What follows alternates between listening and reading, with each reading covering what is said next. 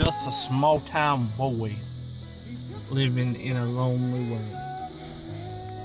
Don't stop believing. It's such a beautiful song, isn't it, George?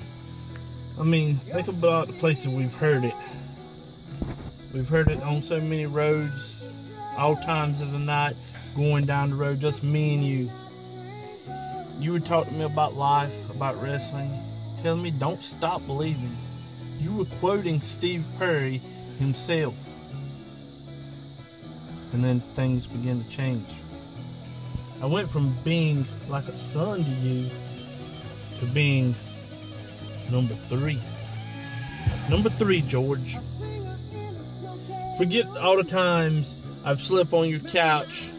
Forget all the times at four o'clock in the morning, me and you riding down the road, singing Steve Perry, singing Don't Stop Believing, The Wheel in the Sky, and Faithfully.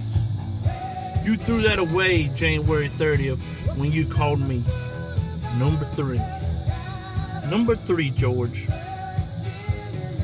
And the thing is, I thought I was going somewhere in life. Just like any band, I thought me and you, we was going to ride this wave to the top. You were going to take me somewhere, George. That is exactly what I was thinking. And then when I hit, uh, hit a plateau, I went to looking around and I realized it was just the wind blowing. The scenery hadn't changed. I was still in park. I hadn't gone nowhere. And why is that, George?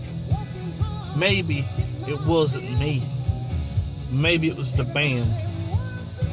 Maybe I was just like Steve Perry. Maybe I hit my plateau and too long I was hanging in there faithfully. But you know what happens, George? Here's what happens. February 27th. High Point. Your own personal Steve Perry himself. Baron Bullard is going to face the band. He's taking on you and Zane Dawson. And George, February 27th, the wheels in the sky is going to quit turning for you.